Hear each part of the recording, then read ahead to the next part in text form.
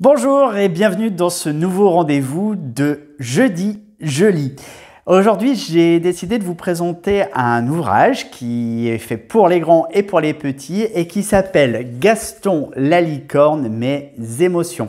C'est un livre qui a été écrit par Aurélie Chien-Chochine aux éditions Hachette Enfant de 2020.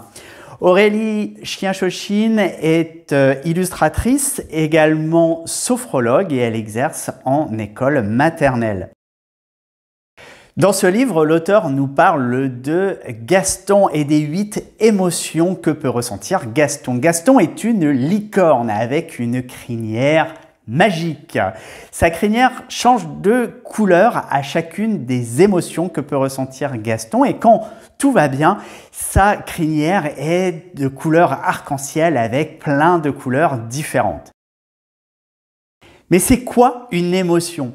Gaston se met en scène dans des petites histoires courtes pour exprimer ses émotions. Alors il y en a plein, il peut être en colère, en colère, se sentir coupable, être triste, être joyeux. En fait, Gaston nous donne sa météo du cœur. Aurélie Chien-Chochine a écrit huit autres ouvrages avec les huit émotions principales et dans celui-ci, en fait, elle condense les huit émotions.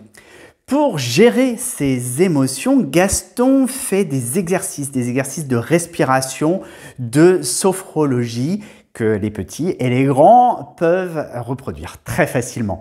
Par exemple, quand c'est une émotion désagréable comme la peur, Gaston va se construire une armure pour se donner du courage.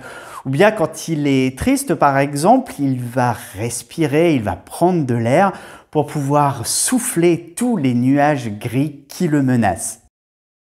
Quand c'est une émotion positive, comme la joie par exemple, il va la faire grandir en lui pour pouvoir ensuite la partager aux gens qui en ont besoin, aux gens qui en ont envie autour de lui.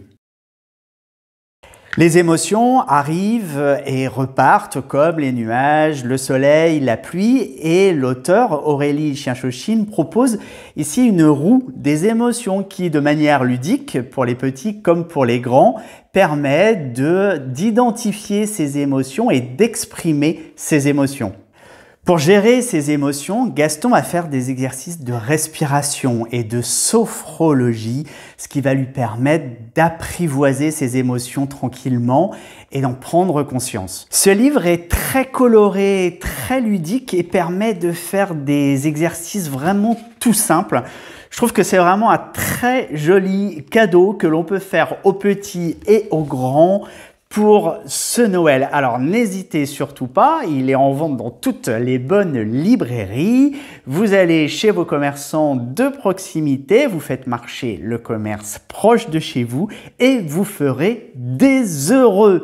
C'était la rubrique Jeudi Je lis et je vous retrouve très bientôt également sur le site internet coachingvan.fr. À très bientôt, ciao